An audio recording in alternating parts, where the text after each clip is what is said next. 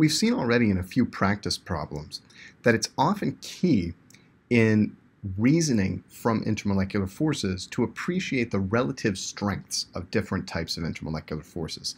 This slide summarizes the general trends in the strengths of intermolecular forces from weakest to strongest. And just for good measure, I've thrown covalent and ionic bonds, which we would generally think of as intramolecular forces, at the bottom to indicate the, that these are far and away the strongest types of forces between atoms.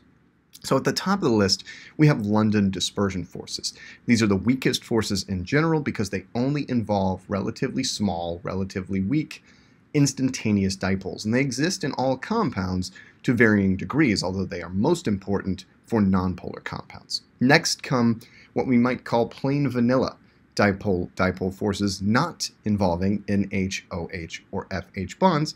These dipole-dipole forces involve attractions between the opposite ends of permanent dipoles, and these are intermediate in strength between London forces and hydrogen bonding interactions. So next on the list, these hydrogen bonding interactions are stronger than simple dipole-dipole forces, but only exist between OH, NH, and FH bonds, shown here in blue, and NO or F atoms. So these can exist in mixtures of covalent compounds that contain these groups or in pure substances that contain OH, NH, or FH.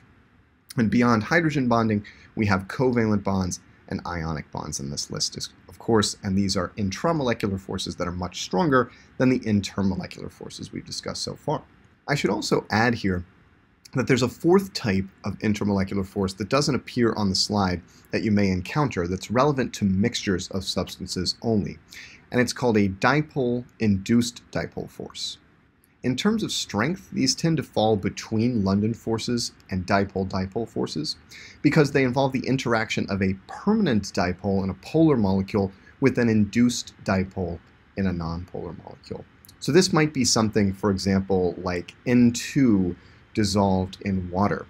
N2 is a nonpolar molecule, but when a water molecule in, say, a solution of N2 in water comes along, that water's negative side presents itself to one side of the N2 molecule, that can induce a dipole in the N2 molecule that is temporary, but that nonetheless results in an attractive interaction between the N2 molecule and the H2O molecule. These kinds of dipole-induced dipole interactions explain how nonpolar small molecules can be soluble in polar solvents, can be dissolved in polar solvents.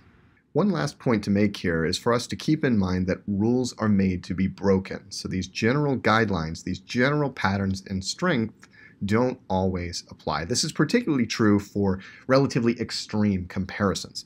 So say we were comparing a very long nonpolar molecule, very large, very long nonpolar molecule with a much smaller but polar molecule and asking about their relative, let's say, melting points. Well, the London forces in the very large, very long molecule may be even stronger than the dipole-dipole forces in the much smaller polar molecule. And in that case, we may observe a higher boiling point for the nonpolar molecule than the polar substance. These situations do arise, and do keep in mind that rules are made to be broken, although these general guidelines are going to serve you well in the vast majority of lecture problems and as a general rule for everyday life.